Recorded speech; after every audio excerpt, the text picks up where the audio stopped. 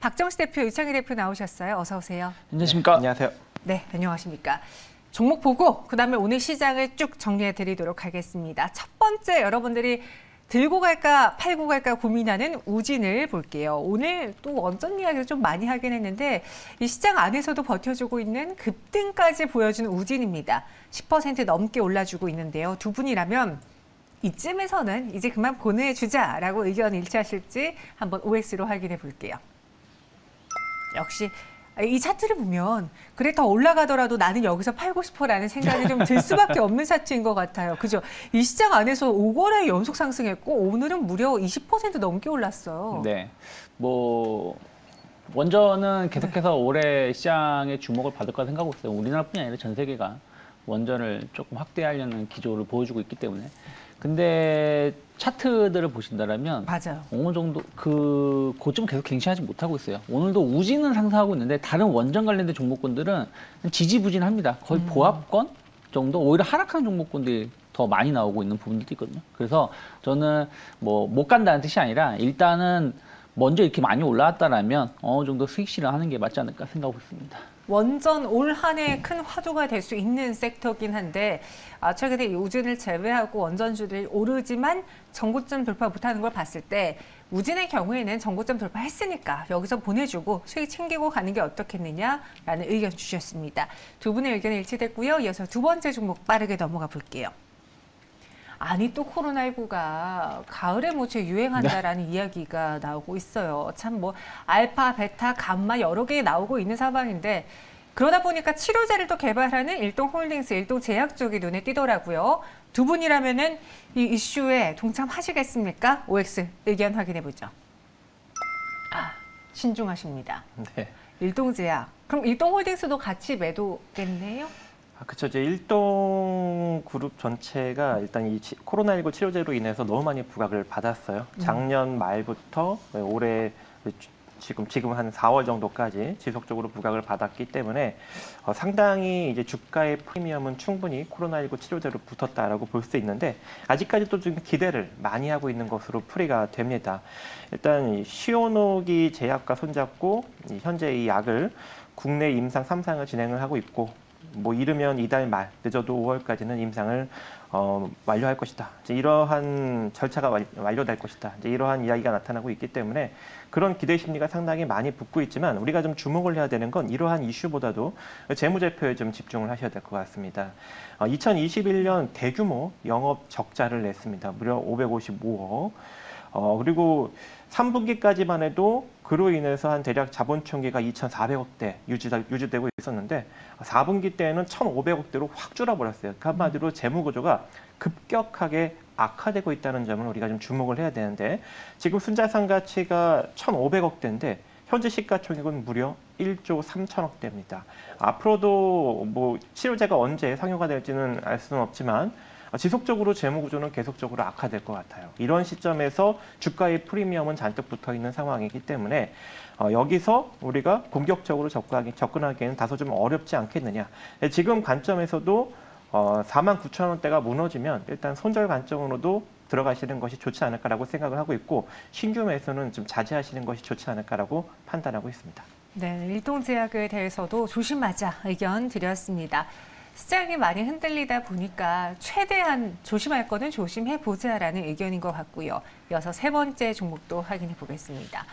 FNF 정말 황제주였죠. 그리고 시장 안에서 우리가 의료주 이야기할 때, 굴프웨어 이야기할 때 또 가장 먼저 거론됐던 수급까지도 도와줬던 종목이 최근 주가가 많이 내려왔습니다. 중국 봉쇄 장기화 우려도 겹쳐진 상황인데 두 분이라면 현 시점에서 어떻게 하시겠습니까? 의견 열어볼게요.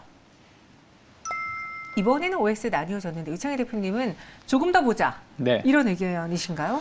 뭐 어느 정도 좀 충분히 조정이 나올 만큼 나왔다 개인적으로는 보고 있습니다. 물론 또 출렁거림이 나올 수 있겠습니다만은 중국 봉쇄가 뭐 천년만년 가지는 않을 까 생각하고 있기 때문에 어느 정도 좀 반발 매수세 또 중국도 경기를 부양하기 위해서는 코로나 봉쇄를 좀 제한적으로 할 필요가 있거든요. 최근에도 보면은 코로나 봉쇄는 하지만 조금 완화하려고 하고 있는 움직임을 계속 포착되고 있기 때문에 물론 그렇다고 해서 완화된다고 해서 당장 뭐 FNF의 어떤 뭐 주가가 뭐 V자 반등에 성공한다는 건 아니지만 어쨌든 어, 최악은 지나고 있는 것이 아닌가 그렇죠. 생각을 하고 있기 때문에 만약에 추가적인 조정이 나온다라면 저는 한 번 정도는 분할 매수 해볼 수 있는 자리가 아닐까 생각하고 있습니다. 음, 이게 장기적 계속되는 건 아니니까 네. 지금 갖고 계신 분들 매도하기 어렵다면은 조금씩 분할 매수해 보자. 그럼 5회 X의 의견도 간단하게만 들어볼게요. 네, 주가의 프리미엄이 이미 많이 붙어 있습니다. 물론 1분기 실적까지는 상당히 긍정적으로 나왔는데 어, 충분히 이 성장 프리미엄이 주가에 다 반영이 됐다고 생각을 하고 있어요. 지금도 순자산 가치 대비 9배 정도 부각을 받고 있는 상황이었고 이전에 거의 20만 원 가까이 고점을 찍을 때는 10배 이상 부각을 받는 그런 상황이었죠. 그래서 지금 상황에서는 이제 슬슬 매도를 해- 어느 자리에서 매도를 할지 그리고 이 자리가 깨지면 나는 일단 매도하고 관망을 해야 되겠다 이러한 판단을 내릴 때지 신규 매수 접근은 조금 자제해야 되지 않을까라고 생각을 하고 있고 그리고 접근을 하더라도 기술적으로만 짧게 접근하는 것이 좀 가능할 것으로 보여집니다. 그래서 매수 자리는 12만 원짜리, 10만 1천 원짜리인데 12만 원이 무너진다면 10만 원 정도 자리까지 스트레이트로 밀릴 수 있기 때문에 이탈되지 않는 선에서만 13만 원 정도까지 짧게 보는 전략은 가능하다라고 판단하고 있습니다. 알겠습니다. 두 분 의견은 여기까지 들어보겠고요. 이 시장 안에서 혹시 줍줍해 볼 만한 종목이 있을지, 매수해 볼 만한 종목이 있을지 조심스레 여쭤볼게요. 마감에 살 종목 키워드부터 보겠습니다. 광케이블 의무화 그리고 비빌 언덕이다. 키워드만 봤을 때 저는 한번 비벼보고 싶은데 어떤 종목인지 열어보겠습니다. 마감에 산다 종목은요. 이노 인스트루먼트 그리고 삼성 엔지니어링이에요. 먼저 오늘 시장에서 또 5G 주들이 이상하게 오르던데 이노 인스트루먼트도 좀 광케이블 이쪽으로 봐야 되는 겁니까? 그렇죠. 일단 뭐 윤석열 정부에서 정책 기대감이 상당히 좀 붙고 있는 것으로 풀이가 됩니다.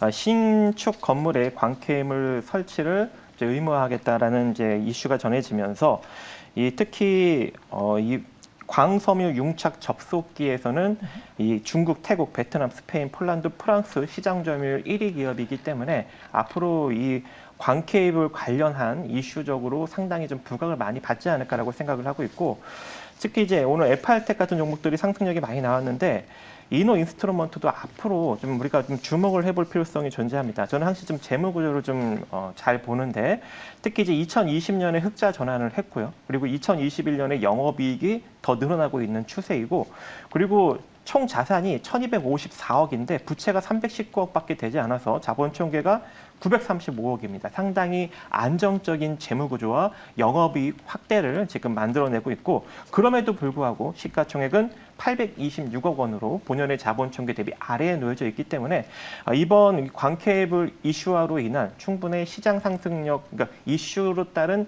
이 가격 상승력이 좀 어, 충분히 붙을 수 있다라고 판단을 하고 있고 거래량상 차트상 보더라도 지난 3월 달에 거래량이 좀 대량으로 붙었는데 그 이후 오늘 그때 거래량보다 더 많이 붙는 모습이 어, 보여지고 있습니다. 즉 어, 최근 3월 후반부터 지금까지 매수 우위의 거래량이 계속적으로 나타나고 있기 때문에 어, 지금 가격권에서 여러분들이 좀 분할 매수 관점으로 접근할 수 있지 않을까라고 생각을 하고 있고 어, 손절가는 좀 시장이 좋지 않기 때문에 짧게 뭐 2,000원 정도 제시해드리지만 아, 2,000원 밑으로 깨졌다가 다시 올라타더라도 다시 매수 관점으로 접근하시면 될 것 같고요. 목표가는 2,300원 정도 짧게 제시해드리지만 강력하게 상승이 나올 경우에는 추가 홀딩 가능하다라고 판단이 되고 있습니다. 음, 그래서 목표 주가 는 2,300원, 손절가 2,000원 제시해 드렸습니다. 광케이블 현재가 분할 매수해 보자 이노 인스트루먼트 이야기해 주셨고요. 이번에는 비빌 언덕을 한번 찾아볼게요. 정말 어디든 기대고 싶고 어디든 비벼보고 싶은 지금 시장의 흐름인데 삼성 엔지니어링에 비벼도 괜찮겠습니까? 전 뭐 나쁘지 않다 생각 좀 하고 있는데, 그러니까 말씀드리고 싶은 거는 먼저 말씀드린다라면 수급이라 생각하고 있어요. 외국인 오늘도 유가증권 2천억 정도 매도하고 있고요. 음. 그 올해 외국인들이 10조를 매도를 했는데 4월 한 달 뭐 5조를 매도했어요. 엄청난 어, sell 어, Korea를 보여줬는데 그럼에도 불구하고 꾸준하게 매수를 보여준 종목군들이 있다는 것이죠. 그 대표적으로 삼성 엔지니어링이 아닌가 생각 좀 하고 있습니다. 일단은 플랜트 관련해서 뭐 화공이라든지 이런 부분들 수주가 어, 잘 이루어졌었고 이런 그 고난이도의 건설 산업 현장이 잘 돌아가고 있어요. 그러면서 안정적인 매출 구조 이어가고 있고 원자재 가격 상승이 발생하고 있습니다만 그런 부분들 어느 정도 이제 어 그 사업체 사업장에 전가시키는 부분들이 1분기 실적이 어느 정도 확인되는 부분들이 좀 있고 또 이게 뭐 좋다 안 좋다 말씀드릴 수 없겠습니다만 일단 이게 해외 사업 부분이 대부분입니다. 상당히 많습니다. 그러다 보니까 음. 어 국내 산업재해 뭐 이런 부분들 그러니까 국내 건설사들이 좀 지금 약간의 어려움을 겪는 것이 HDC 산, 현대산업개발 때문에 이제 좀 이제 그런 규제라든지 이런 그 안전 장치 이런 부분들이 강화되는 부분들이 약간 우- 우려감이 좀 있는데 삼성 엔지니어링은 그런 부분들에 대해서 약간 자유롭다라는 것이죠.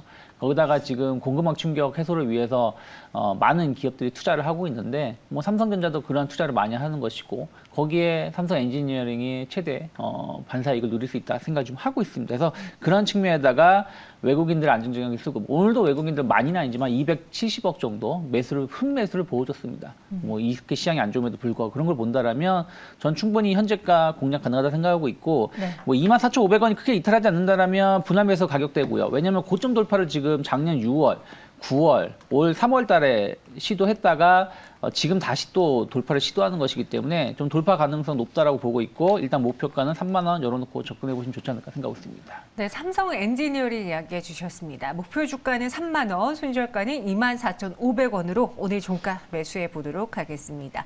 오늘 시장을 쭉 훑어봤을 때 특히나 뭐 음, 새롭게 나온 악재보다는 일단 4시에 푸틴 대통령이 어떤 이야기를 할 것이냐 그것을 우려하고 있고 또 지금 수급적으로 도와주지 않는 와중에 기 관도 매도하고 있거든요. 대표님은 어떻게 보셨는지 오늘 시장에서 지금 이 마감 동시효과 구간에 버릴 종목은 버리고 가는 게 좋을지 아니면 내일을 위해서 그래도 좀 들고 가보는 게 좋을지 어떻게 생각하십니까? 네, 그래서 저도 좀 상당히 고민이 많은데요. 근데 지속적으로 시장이 좀 약세 국면으로 들어가고 있는 와중에 그래도 테마 섹터의 지속 순환 랠리는 지속되고 있습니다. 그렇기 때문에 어, 우리가 어, 주도주 찾기는 상당히 좀 어려운 시장이지만 테마 섹터로 접근한다면 우리가 굳이 버리고 갈 필요성은 없지 않을까라고 생각을 하고 있고요. 그리고 어, 글로벌 시장 하락력 대비 최근에는 우리 시장 하락력이 다소 좀 적게 나타나고 있는 그런 국면입니다. 그래서 어, 최근에 상대적으로 대형주도 상대적으로 좀 많이 눌린 종목이라면 지금 국면에서는 굳이 손절을 할 필요성이 없고 오히려 홀딩하면서 때를 기다리는 그런 접근 전략이 필요하지 않을까라고 생각을 하고 있습니다. 물론 개별 어떤 종목이냐에 따라서 답인 달라질 수 있겠지만 이렇게 정리해 보겠고요. 마감 동시효과 구간 분위기 보시면 코스피는 1% 넘는 하락을 보여주고 있는 와중에 코스닥이 더 많이 밀립니다. 2.69% 급락한 860.41포인트까지 내려왔습니다. 마감 동시효과 함께 하셨습니다.